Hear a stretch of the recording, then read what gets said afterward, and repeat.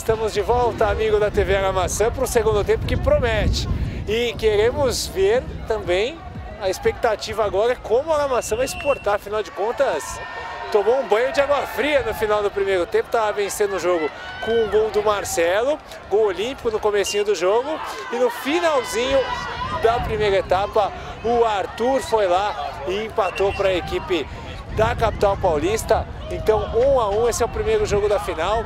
A decisão, a volta será lá no ginásio do Pinheiro, do estádio do Pinheiros, perdão. Então vai ser um grande jogo e o Aramaçã fazer uma vantagem nesses 30 minutos que restam é muito importante. A equipe do técnico Alexandre, os meninos do Aramaçã, nossos garotos buscando o título do Paulista Interclube Sub-15. Aí a, aí a falta cobrada para a equipe do Aramaçã. Bola colocada no campo de ataque o domínio pelo meio do Factori, tentou o drible de volta e aí a falta marcada. Ia ser muito difícil ele passar de novo, né? Só que ele conseguiu fazer ali o drible e conseguiu cavar uma faltinha. Foi bem ali o Factori. Aí vem a cobrança da falta. Preocupação pro goleirão Flacker. E tem que ficar preocupado mesmo, que o Marcelo tá bem no jogo, principalmente nas bolas paradas. E tem o Factori ali para cobrança também. A última quem bateu foi o Marcelo, no primeiro tempo. E quem bate é ele de novo, Flacker faz a defesa, olha o rebote, chance do gol, Flacker! Um milagre faz o goleiro do Pinheiros, Henrique Godoy teve uma chance incrível, ele dominou, teve muito tempo para finalizar e o Flacker fez um milagre aqui no Macário. Foi bem, sem dúvida que o Flacker foi bem, mas eu coloco mais na conta do Henrique Godoy. Ele chegou a dominar e aí chutou em cima do Flacker. Claro, o Flacker foi veloz, como um gato, né? Foi na jogada, mas não pode desperdiçar uma chance dessa. Ele falhou no primeiro momento, o Flacker, uma bola que ele não poderia soltar, rebateu para o meio e depois se redimiu fazendo a defesa, mas errou o Henrique Godoy. Para maçã poderia estar na frente novamente com esse golzão escancarado, né? O Henrique Godoy não conseguiu tirar do Flaque, mas uma defesaça do goleiro do Pinheiro. Aí o desvio de cabeça. O Aramaçã teve a chance de, assim como no primeiro tempo, fazer um gol logo no começo. Mas dessa vez não deu. Um a um segue empatada a decisão. Luquinha faz a cobrança do arremesso lateral. É dividida do Lézer. Melhor para o Marcelo, que enfia essa bola no meio. O Nicolas, ó, ficou no jogo. O Nicolas dessa vez foi firme. Pinheiros desce para o contra-ataque. Aí o Camargo domina, faz a inversão pelo meio com o Xande. Tinha o Pedro Camargo livre. Ele preferiu o toque no meio e na sequência o Lézer isola, manda a bola por cima do gol do goleirão Manu. Tá aí o Manu na imagem para você, goleirão do Aramaçã.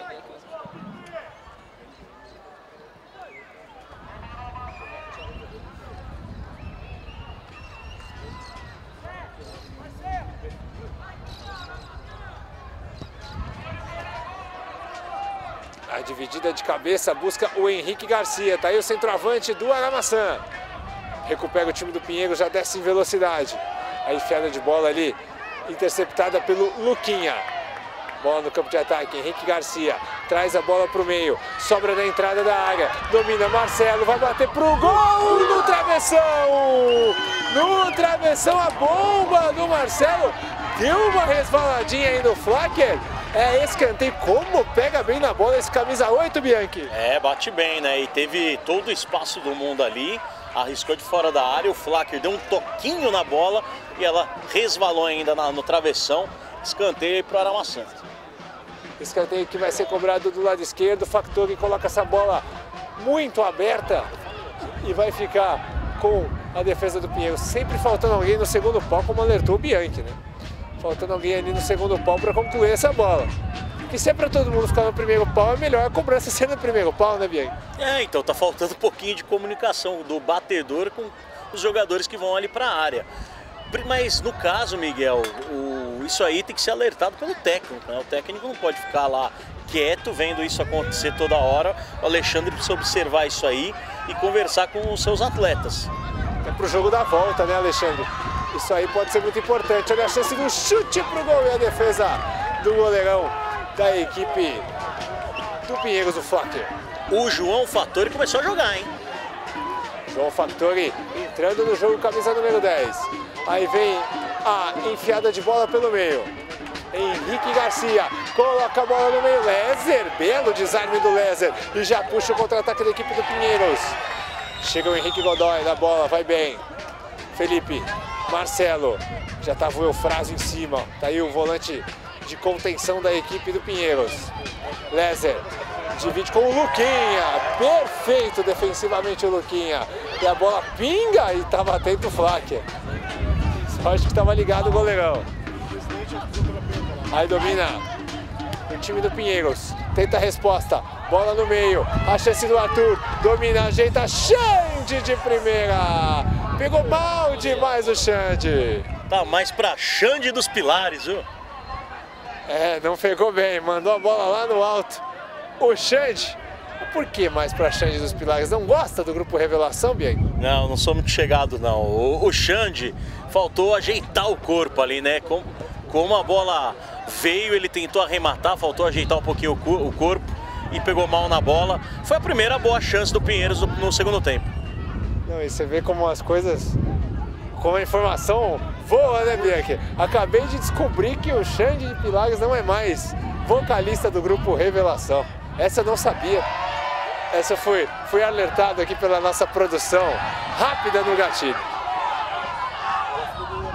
Aí a, a cobrança do lateral para o time do Pinheiros. Lezer tem habilidade, aí não foi nada. Olha, o Lezer, ele tá jogando bem, pelo menos na minha opinião, não sei na sua, Bianchi. Agora, futebol ele tá sabendo jogar. Agora a gente precisa achar lá em São Paulo, lá perto do Pinheiros, um curso de teatro, né? Porque essa cavada dele de falta não dá, né? É, ou cair ali nas tradicionais piscinas do Esporte Clube Pinheiros, porque ele mergulhou agora o Lezer, que eu acho que ele tá mais ou menos nesse jogo, Fortunato. Eu acho o Xande e o Arthur os destaques dessa equipe até aqui. Aí o domínio do Pedro Camargo, ainda deu certo. Aí o lançamento do Sabatini. Apareceu um pouco no primeiro tempo. Agora aparece bem. Coloca a bola com o Henrique Garcia. Chega ali o Factori, impede o lançamento do Eufrásio, então é lateral para o Pinheiro. Em certo momento você falou domina o centroavante Henrique Garcia, né? Só que o Henrique, ele não é centroavante, né? Ele é aquele atacante de lado, que gosta de jogar de frente pro gol. Não gosto dele atuando ali como centroavante, que ele tá fazendo essa função realmente, ó. Toda hora ele tá de costa pro marcador, mas não é a dele não, Miguel. É, mas hoje tá, tá jogando como uma referência de ataque. Olha o Lezer, acabou pisando na bola e dando contra-ataque pro Aramaçã. Chega firme aí o Louro. Consegue fazer o corte. E tá marcada a falta a favor da equipe do Esporte Clube Pinheiros. Essa é a decisão do Paulista Sub-15 Interclubes. Você pode conferir na íntegra na TV Aramaçã a decisão do Interclubes do ABC na categoria principal, um jogo que foi sensacional. O brilho do goleirão Tatu foi decisivo na final. Você pode curtir aí na íntegra a final entre Aramaçã e Ribeirão com a narração do Eduardo Bianchi. Aí vem o Nicolas. Manu fica com ela. Aí o goleirão do Aramaçã já observa qual a melhor opção, vai mandar lá no campo de ataque. Domina o Factory tentava o domínio, né? Porque a bola pingou na frente dele. Segue o jogo sem falta. Felipe vai ser apertado. Vamos ver como ele reage na pressão. Felipe protege. Tem mais atrás ali a defesa. Ele prefere, ao invés do toque com o Igão, jogar a bola para a linha lateral. Então o Pinheiros tem um arremesso lateral. Arthur, de barriga ele faz o passe. Hein? Sobrou. Lezer domina na entrada da área, desarmado. Vem para o contra-ataque a equipe do Anamaçã, Murilo domina, o Henrique Garcia tentou fazer o pivô e a bola fica com o goleirão Flacker. Aí o Flacker vai mandar no Arthur. Dividida de cabeça. Arthur. Fica com ela o camisa 11 do Pinheiros. Divide o Arthur nos trancos e barrancos. Essa bola vai sobrando com o Luquinha. De novo no lugar certo o Luquinha. E o Arthur ficou caído, hein? O Arthur ficou caído, tá deitado ali na área, o camisa 11. Dividiu, dividiu a bola nos trancos e barrancos, na base da força e ficou caído. O Pinheiros vai mexer e tá caído ali o Arthur com a mão no rosto. O Felipe ali tá dizendo pro Bandeira que não aconteceu nada. E o Arthur não se levanta, né? Coloca ali a mão no nariz, dizendo que foi atingido no rosto, Bianchi. Nada, foi absolutamente nada, né? Teve um choque ali natural e aí ele tá querendo fazer uma, uma cera, ganhar um tempo, querer dizer ali que o atleta do Aramaçã o atingiu, mas não aconteceu absolutamente nada, Miguel. Muito bem, já tá levantado, ele já tá de pé. O Arthur.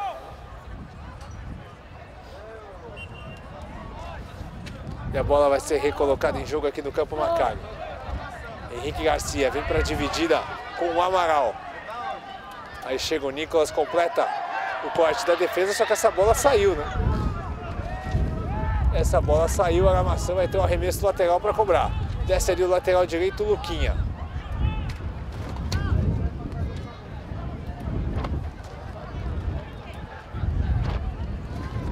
Aí o Luquinha coloca essa bola na área. Veio o desvio lá para dentro, Nicolas afasta.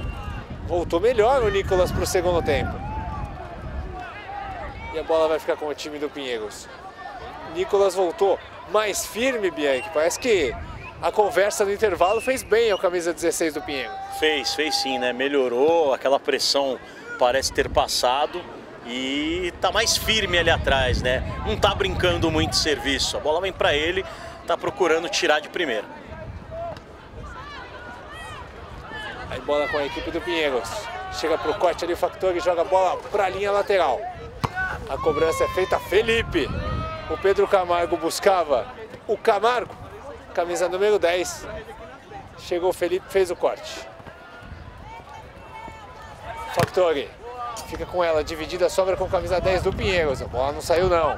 Caiu o Pedro Camargo, a arbitragem manda seguir. Aí chega o Igão, tira o perigo dali, manda a bola para a linha lateral. Fica na bronca com o Felipe. Pinheiros pressiona. A Maçã precisa da vitória, mas o jogo é duro, é contra um adversário forte. As duas melhores equipes do Campeonato Paulista Sub-15 decidindo o título. E o Pinheiros vem para o ataque com o Camargo. Fez o giro para cima do Felipe, bola para o meio da área, ficou muito aberta, sem ninguém. Ele pode pintar o contra-ataque. Henrique Garcia domina contra o Amaral. Protege, Marcelo, enfiada de bola nas costas da defesa, chega o Louro e afasta o perigo, manda a bola para fora. Cobrança do lateral vai ser feita pelo lado esquerdo. Aí o Factori tem a bola para a entrada da área, ela vai sobrando, chega a zaga do Pinheiros e afasta. Arthur na dividida, fica com ela, Lézer coloca do lado esquerdo. O Pinheiros tenta acelerar, chega no corte o Murilo. A bola desvia, então fica com o time do Aramaçã. Luquinha. João Vitor, zagueirão, manda a bola para o campo de ataque. Aí o desvio de cabeça. Nicolas. Vem a dividida. Aí o, o camisa número 13, Lolo, dá uma, dá uma desviadinha. E o arremesso lateral é para o time do Aramaçã. Aí o Felipe. Manda no Henrique Garcia. Factori pega bem na bola, só que dessa vez não conseguiu acertar bem o chute. TV Aramaçã, que já nasceu campeã.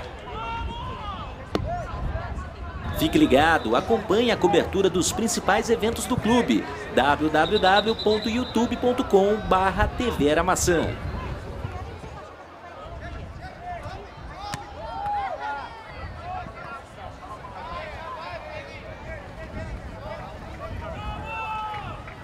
Aí o João Factori vem para a cobrança do arremesso lateral. Henrique tenta escapar, vem pro chute. Vai ficar com ela o goleiro Flacker. A arbitragem não dá a falta. E aí o Flacker dá a falta sim. E aí o Flacker vai ficar com ela. Estamos na metade desse segundo tempo. Vem a bola acelerada, o João Vitor chega e sai com categoria.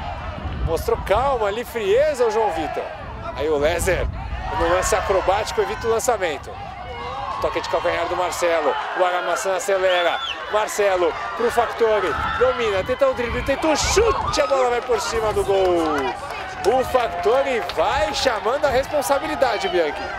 Tá chamando a responsabilidade, né? Ele sempre corta ali pro meio, né? Pro seu pé direito, que é o bom, e arrisca, segundo chute seguido, só tá precisando acertar na finalização. Mas o Aramaçã cria as melhores chances, Miguel.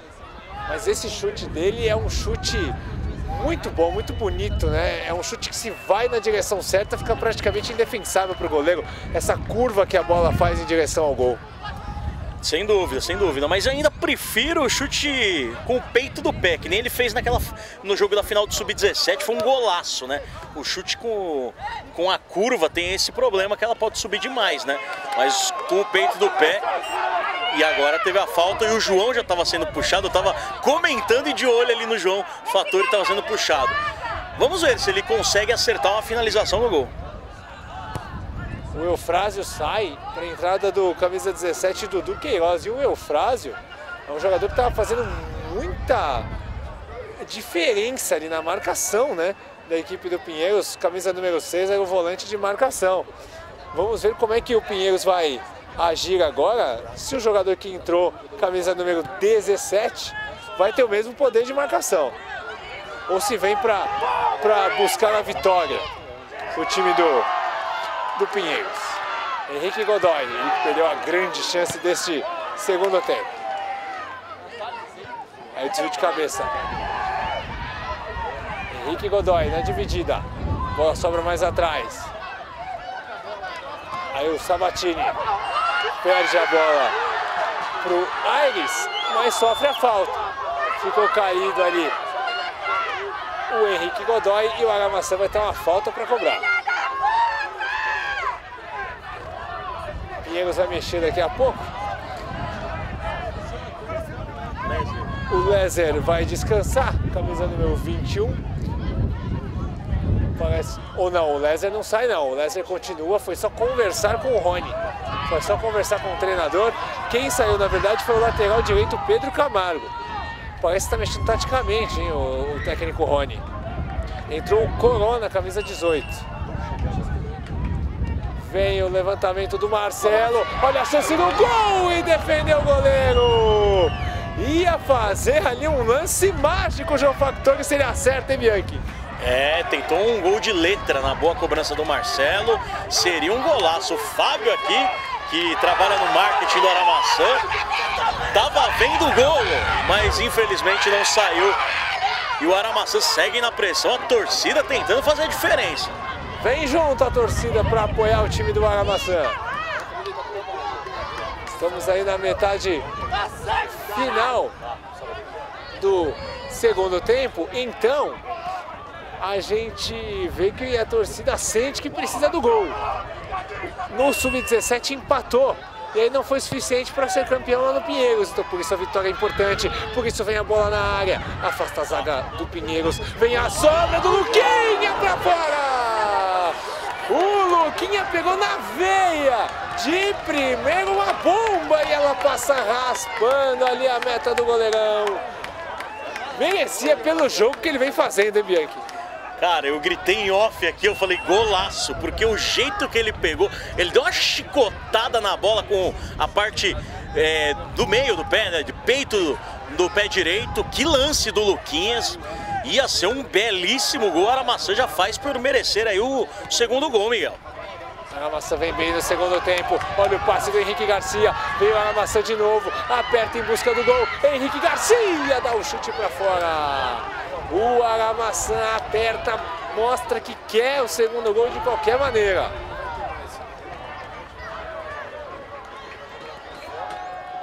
Aí o time do Pinheiros trabalha a bola do lado esquerdo. Falta tá marcada.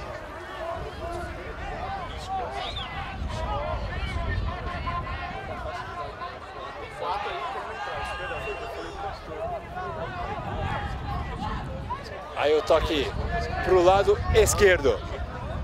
Vem o time do Pinheiros com o Dudu Queiroz. Aí a gente vê que é um jogador ofensivo, camisa 17. Né? Então o, o técnico Rony Vamos ver primeiro ataque do Aramaçã, conversar com o Bianchi sobre as mudanças que fez o técnico do Pinheiros. Vem o time do Pinheiros pelo lado esquerdo. Tem na área a opção do Arthur, a chance ali do levantamento do Henrique Almeida. Só que chega a zaga e afasta. Henrique Godoy. Aí o Henrique Godoy faz o passe, enfiada de bola não foi boa.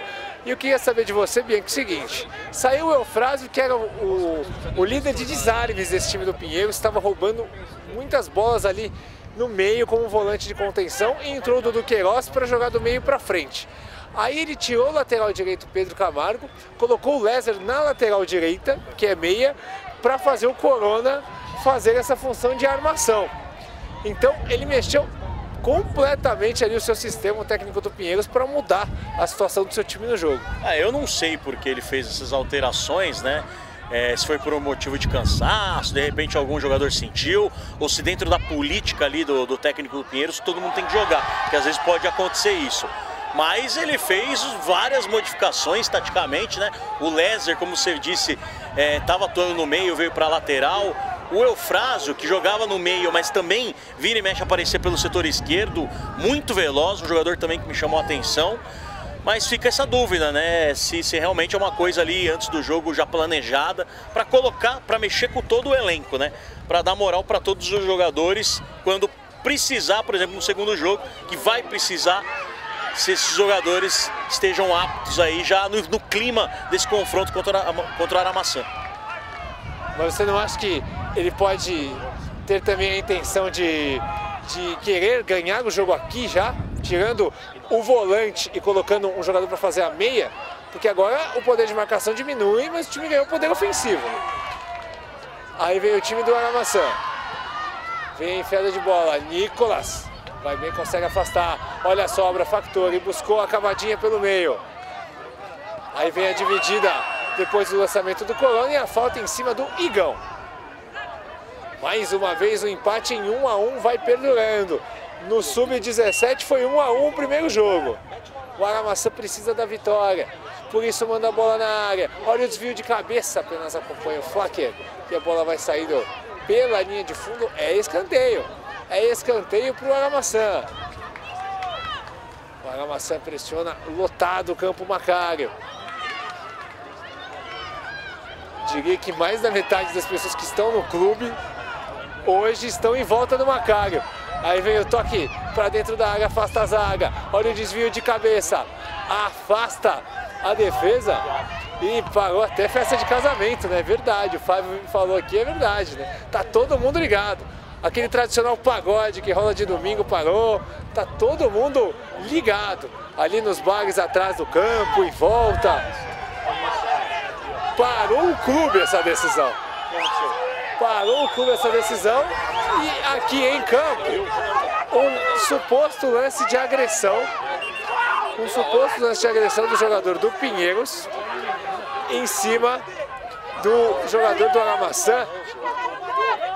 Seria o lance do Arthur em cima do Murilo, né? Então,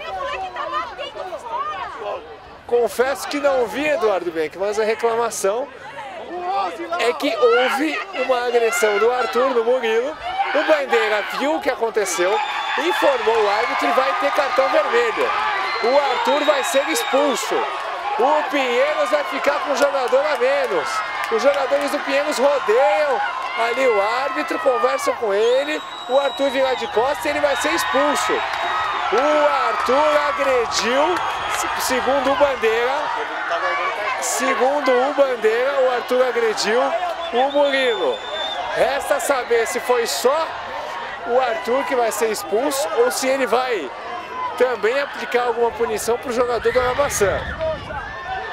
O Bandeira viu o lance, estava de frente e afirmou ao árbitro que viu o que aconteceu. A agressão do Arthur, agora os jogadores do Pinheiro chegam no Bandeira para conversar só que agora não vai voltar atrás.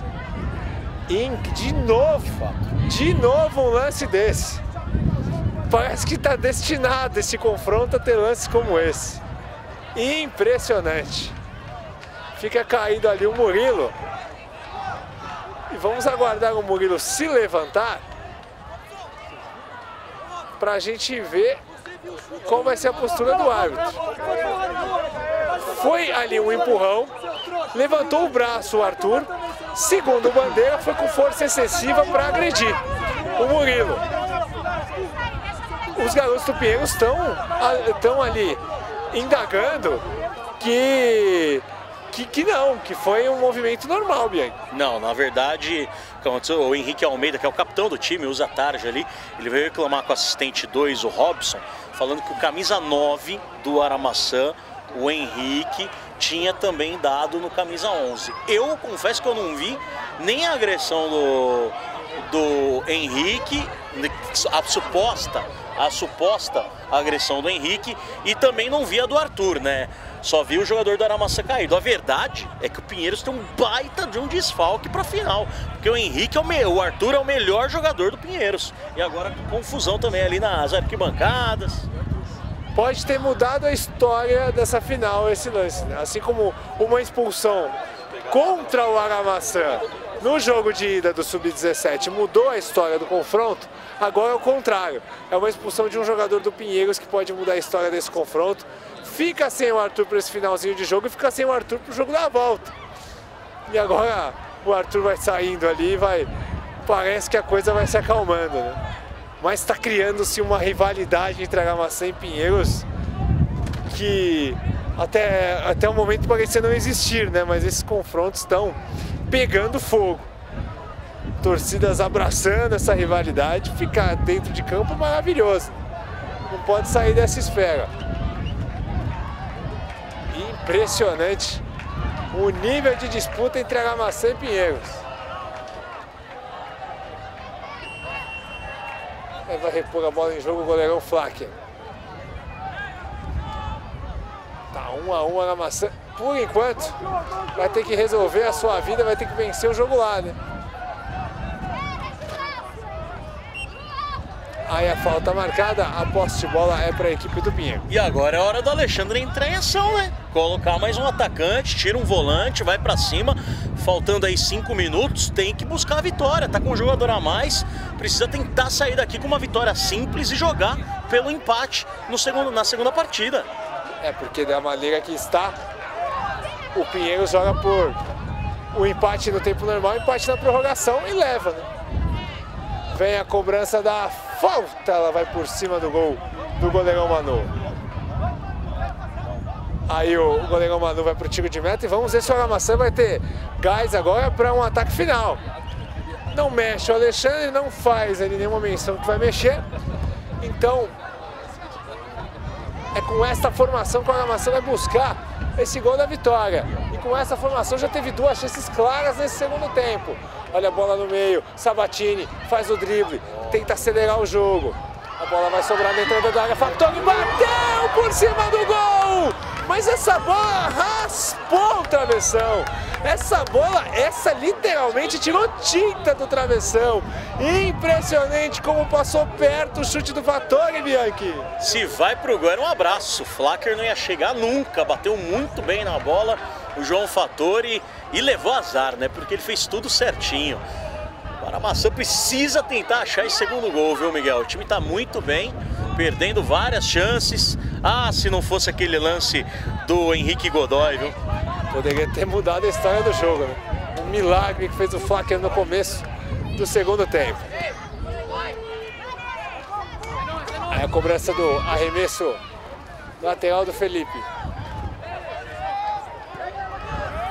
Aí o desvio de cabeça é feito pelo João Vitor, só que já havia sido marcada a falta.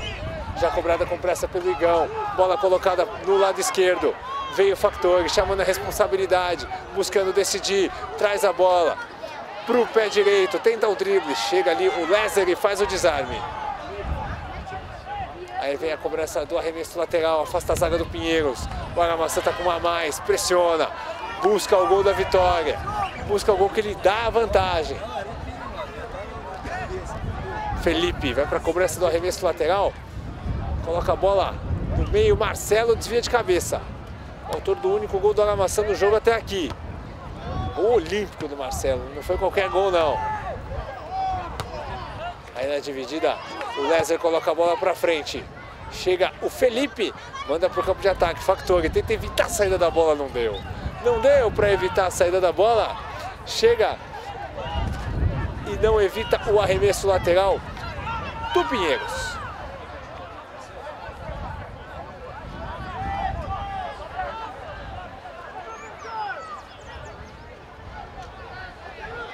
É a cobrança do Lézer. Aí o belo drible do Sabatini, só que ele perde a bola. Tenta recuperar, deixa mais fácil para o Felipe completar ali o desarme. Bola com o time do Aramação, o jogo está chegando no final. Pedretti. O toque é feito no meio. Henrique Godoy faz o drible, faz a jogada. Recebeu. Tentou o toque de lado. Corta a zaga da equipe do Pinheiros. Na sobra, a bola vai ficar com a equipe do Aramaçã de novo. É pressão nesse final. É o fôlego final. Factori arrisca o chute. A bola passa. Vai para fora a tentativa do Factori. Mais uma vez ele finaliza. É disparadamente quem mais finaliza no jogo. Teve a chance, a bola passou ali à direita da meta do goleirão. E ficou caído o Lézer. O Lézer vai ser atendido nesse finalzinho de jogo, ficou caído ali na dividida. Chega ali o fisioterapeuta para fazer o atendimento. Portanto, dia 30, a decisão lá no Pinheiros. O empate leva a decisão para a prorrogação. Então vai ser um grande jogo. O Aramaçã vai precisar ganhar lá no Pinheiros. Vai ser muito difícil, porque lá é pressão. Mas o Aramaçã mostra sua qualidade. Vai em busca de superar esse desafio. Vamos para os momentos finais desse jogo. De repente, ainda dá tempo de fazer o gol da vitória hoje, com um a mais. E lembrando que o Pinheiros vai sem o Arthur, né? O Arthur, que segundo o Bianchi, nosso comentarista, é o principal jogador do Pinheiros, foi expulso. Então não vai poder jogar a decisão. Vai sem a sua referência, sem o seu centroavante, sem o seu principal destaque, o Pinheiros. Também é necessário saber como vai se portar a equipe paulistana sem o Arthur. O Arthur que fez o gol do Pinheiros, inclusive no jogo de hoje. Aí o desvio de cabeça. Domina na maçã. Busca criar uma oportunidade de ataque, só que aí o Marcelo faz a falta. O Marcelo faz a falta. Fica na reclamação. E o Lézer manda a bola pro ataque. Bateu com a bola rolando o não pode, né? Bateu com a bola rolando, então vai, vai voltar a cobrança. Camisa 21, Lézer, né? Começou como meia. E aí, nas alterações do treinador Rony, foi para lateral direito neste segundo tempo de jogo. Tá aí ele. Bateu mal, a falta agora. Aí o toquinho pro meio. Marcelo coloca com o Factori. Vai finalizar de novo, dessa vez não tem espaço. Então ele cruza, ele cruza e não consegue desviar o Pedretti. Um pouquinho a mais que o Pedretti se estica, ele toca essa bola pro fundo do gol. O Factori chamou a responsabilidade. Não há o que se falar dele. Jogadoraço esse garoto Factori. Uma das joias aí do Aramaçã. Vem enfiada de bola para ele. Tem a chance de finalizar no finalzinho do jogo. Chega o desarme. A bola ainda fica para o time do Aramaçã. Aí enfiada de bola do Sabatini. Bola com curva. Pedretti briga por ela. E o toque é para escanteio. O Aramaçã tem o escanteio. Um gol agora é crucial para o Aramaçã. Vem o Marcelo que fez um gol olímpico. E fez um gol olímpico dali, né? Canhoto Marcelo, do outro lado do campo, fez um gol olímpico no primeiro tempo. E ele vai para a cobrança, a bola vem aberta, na sobra, Factori bate pro gol e ela vai para fora. Chute cruzado do Factori, a bola não entra. Hoje a bola do Factori não quis entrar. Né? Impressionante. Que final em alto nível. A Maçã perdeu ótimas chances de ganhar o jogo no segundo tempo. E o Pinheiros vem para a resposta. Não é bobo esse time do Pinheiros. Mesmo com a menos, quer incomodar. Saiu o Camargo. Vem para a dividida. A bola sobra e vem para o contra-ataque o Henrique Godoy na velocidade, faz a enfiada de bola. O contra-ataque do Aramaçã pode ser bom. Henrique Garcia coloca do lado esquerdo, recebe de volta. Henrique Garcia, olha o chute do Marcelo, trava na zaga, trava no Corona. No instante em que o jogo termina, jogadores do Aramaçã ficam na reclamação de que queriam bater o escanteio, mas o árbitro encerrou a partida. Então, um para o Aramaçã, gol do Marcelo, um para o Pinheiros, gol do Arthur. A decisão, o jogo de volta é lá na casa do Pinheiros. Vamos lá embaixo conferir a palavra dos protagonistas da partida. O Marcelo que fez um baita de um gol, né? Pega muito bem na bola, Marcelo. Foi a sua intenção colocar aquela bola direto? Não, não foi não. Eu fui cruzar no primeiro pau, mas acabou dando a sorte aí de fazer o gol. E aí pelo menos saímos com um empate aí. Um empate que expulsou o melhor jogador do time deles, então a gente tem muita chance de ser campeão lá na casa dos caras. O técnico Alexandre falou para vocês, né? Faltou a bola entrar, né? Muitas chances criadas no segundo tempo. Muita, a gente teve muita chance, não podia desperdiçar essa bola, não podia desperdiçar, mas lá a gente vai fazer de tudo e vamos ganhar, trazer a taça aqui pro clube. Bom resultado para vocês, vir aqui na Armacém e conseguir um empate? Sim, pressão a torcida e tal, saímos com o resultado e agora levar para casa e ganhar lá. Qual que vai ser agora a meta lá? Jogar na pressão para tentar é, já vencer o Aramaçã? Vocês vão estar sem o Arthur, né? Não, ele sem o Arthur, artilheiro do campeonato, puta jogador, mas mano, nosso time é melhor que o deles, a gente vai pra cima deles, cada um que tem, todo mundo tem confiança em todo mundo, a gente vai pra cima dos caras. Muito bem, gostaria de agradecer ao Eduardo Bianchi, que fez os comentários, ao Marcão Bin Laden nas imagens e a você que nos acompanhou em mais este evento da TV Aramaçã, que já nasceu campeã.